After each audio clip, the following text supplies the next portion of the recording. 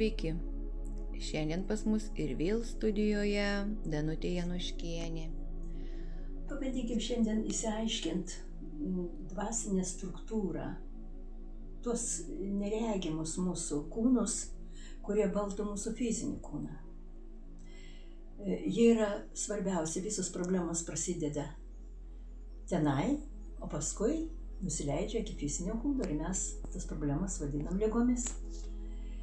E, žinom žodžius siela, dvasia, o kas tai yra? Ir koks skirtumas? E, tikrai nedidelis skirtumas. Tai yra sąmonės formos. Sąmonė tai yra žinojimas. E, tai yra e, absoliutus žinojimas, tai mes vadinam įvairiai informacinis energetinis laukas, e, ciki, prana, e, išmintis. Ir to sąmonės pavadinimų, to absoliutaus žinojimo, aš surinkau 11 žodžių, o pasirodo žydų Biblijoje yra 72 pavadinimai. Ir ta, tas lygis yra apgaubtas didžiulė mistika, didžiulė nežinia. E, ir, ir jis mums, bet jis mums labai svarbus yra. Dabar tą žinojimą galima įsivaizduoti tą sąmonę e, kaip vandenį.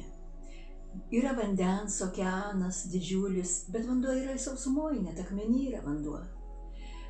Ir dalį to vandens, dalį to žinojimo mes paimam ir pasemiam. Ir užsukam su stiklainiu. Tai ta dalis žinojimo, tai yra siela, jinai gyvena mūsų širdyje. Tai yra žinojimas, kaip e, gyventi, kaip iš sieklos užauginti e, fizinį kūną. Ir siela yra visame kame. E, jeigu nebūtų sielos, tai visa, visas regimas pasaulis pavirstų neįsivaizduojamu chaosu. Kiekvienas elektronas žino, kaip jam reikia skrieti, akmuo žino, kaip jam būti akmeniu, ažolas žino, kaip iš gilės užauginti ažolą ir kaip jam būti ažolo ir taip toliau. Tai e, kiekvienas e, iš lytinės lastelės užauga e, ir gyvuliukas, ir, ir, ir žmogus užauga. Ir mumise ta siela, tai jinai įeina, jinai su su lastelėm lytinėm. Ir e, tai yra žinojimas, kaip aukti embrionui. O dvasia yra tik pas tuos, kas dvasuoja. Ir mes pirmų pradedam dvasuoti, mes gaunam dvasę. Dvasia yra absoliutus žinojimas tik apie mus pačius. Tik tai, kas buvo su mumis e, per visas reinkarnacijas, ką mes E, visa mūsų patirtis, vis, visos mūsų klaidos, dėl ko mes čia atėjom, kad tas išmokt naujas pamokas, senas klaidas ištaisyti. Ir tai yra mūsų, tik tai mūsų yra e, sąmonė, tik tai būdinga žmogui. Ir ta dvasia e, turi, e, turėtų turėti 23 sferas, kiekviena sfera 37 lygmenis. Bet mes taip praradom dvasingumą, kad gyvenam tik tai vos turėdami tris sferas. Jeigu žmogus turi dvi sferas, jam grėsia infarktas, o kai lieka tik viena sfera, žmogus miršta. Bet tas sferas mes galim užsiauginti, padidinti, e, išnaudodami taisyklingą dvasavimą, apie ką aš anksčiau kalbėjau. Kaip dvasuoti, kaip laikyti liežuvį už dantų, giliai dvasuoti, kaip ir taip toliau. Tai mūsų protėviai labai gerai žinojo energetinę struktūrą ir žinojo, kaip ją užsiauginti didžiulę, galingą. Ir senų senovį žmonės gyveno net po tūkstantį metų, todėl kad jie mokėjo užsiauginti dvasinę struktūrą, galingą, tvirtą aura didžiulė. Ir jeigu aura, jeigu aura mažytė, tokia sudžiūvus, pusę metro, 30 cm, kartais randu, kad neigiamas laukas viršė teigiamą. Tada žmogus toks pilnas baimės. Jis jau už pusės metro jau esu nebe aš, yra kažkas svetima.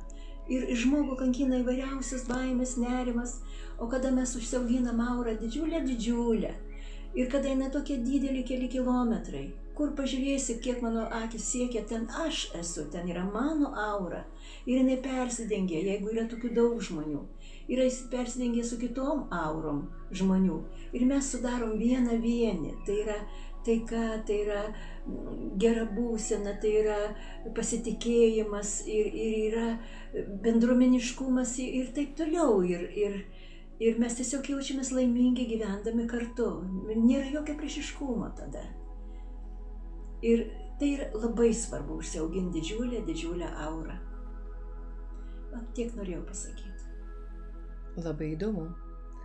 Sakykite, o čia pas jūs toksai įdomus plakatas kabo. Gal jūs galite kažką nors trumpai pakomentuoti, kas čia yra? O, taip. Čia Jono Gervės evoliucijos teorijos Čia yra visos struktūros parodytos, e, kokios, iš ko susideda žmogus. Čia labai sudėtinga yra. Ir kaip Jonas Gerbė teigia, pirmiausia, paaiškinti reikia, kas buvo Jonas Gerbė.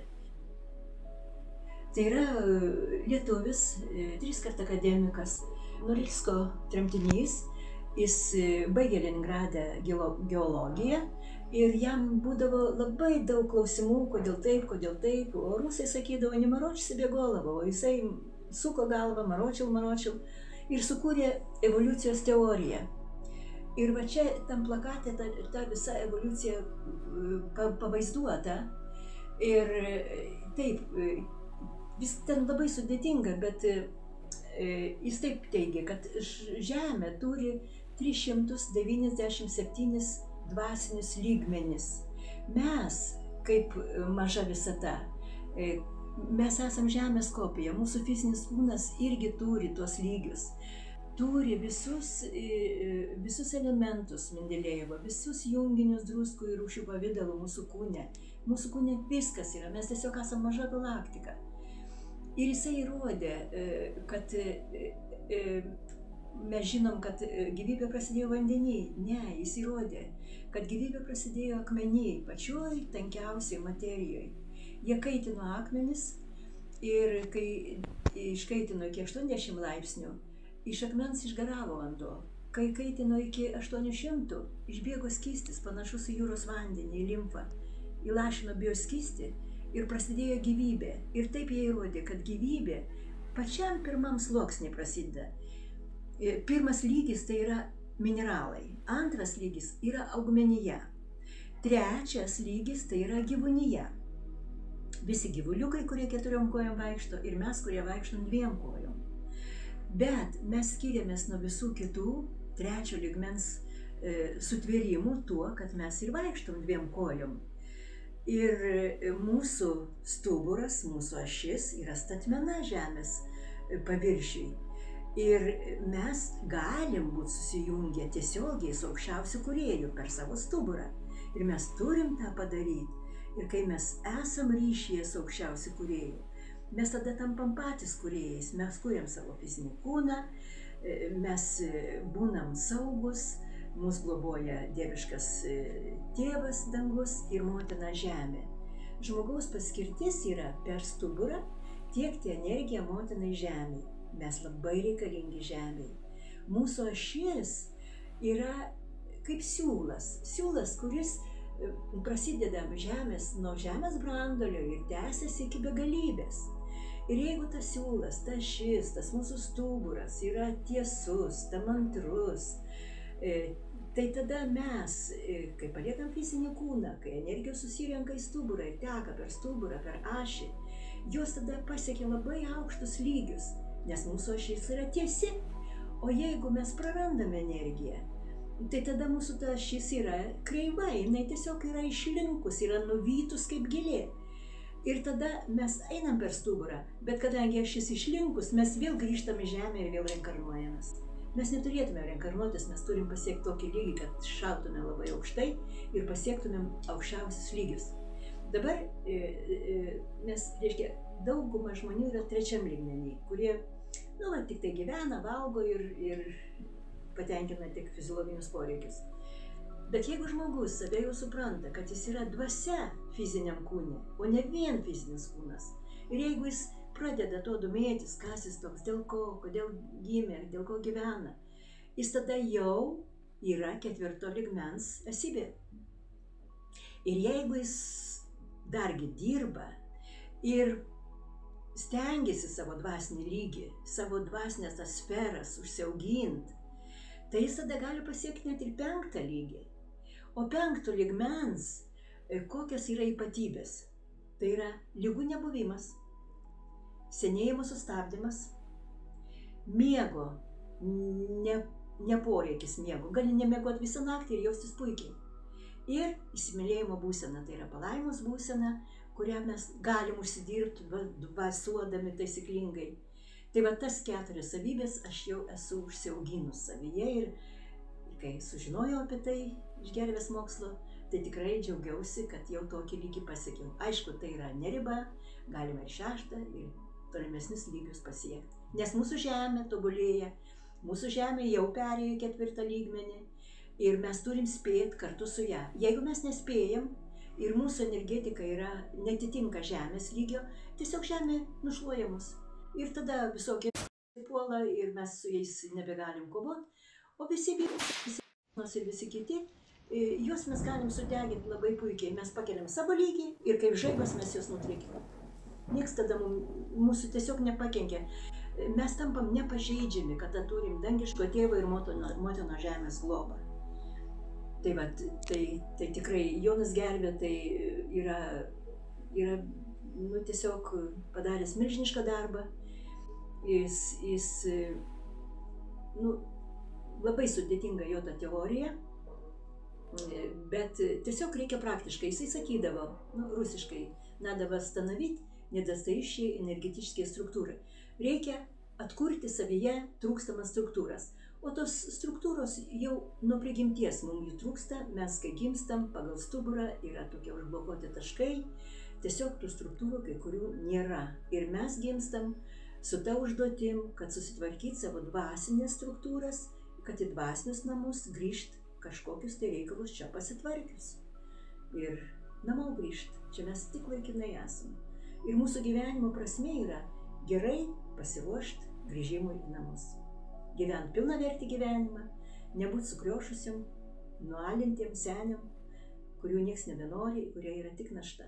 Mes turim gyventi pilna vertį gyvenimą, sustabdyti senėjimą ir išeiti savom kojom iš šviesi protų. Nes ten tęsiasi gyvenimas tik be fizinio kūno. Yra dar daug kūnų, apie kuriuos irgi galima dar pakalbėti. Tai turbūt yra toks vienas posakis, kad reikia nuolatos dirbti su savimi. Tai būtent, bet kaip dirbti ir ką dirbti? Bet jūs padedate žmonėms, kai kreipiasi jūs. Tai taip, nu, tai aš prigimtinis klipavimas yra mano knyga ir, ir atstuburą padedu tuos taškus atblokuoti, atidaryti. Ir užduodu namų darbus, kad reikia labai rimtai dirbti pačiam. Ir visur namų darbai. Visur namų darbai. Tik gyvenimo būdas, sutvarkytas gyvenimo būdas e, tvarko gyvenimą. Duoda gyvenimo kokybę. Ar šiandien užduosite mums kokiu nors namų darbų? Oi, čia dar daug kalbėti reikės tada. Na, pavyzdžiui, kažkokį mažą, nedidelį, mažą, nedidelį užduotėlę. Na, kiek jie žavi už dantų ir giliai dvasuot, ir stebėt, kaip dirba plaučiai. Plaučiai tai yra instrumentas kuriuo reikia naudotis. Ačiū, Danutė. Tada laikysime liežuvį už dantų ir giliai, giliai dvasuosime. Pilnais plaučiais, taip, kaip mokė mūsų senoliai. Nuoširdžiai dėkojame už jūsų įdomų pasakojimą ir atsisveikiname su visais iki kito mielo karto.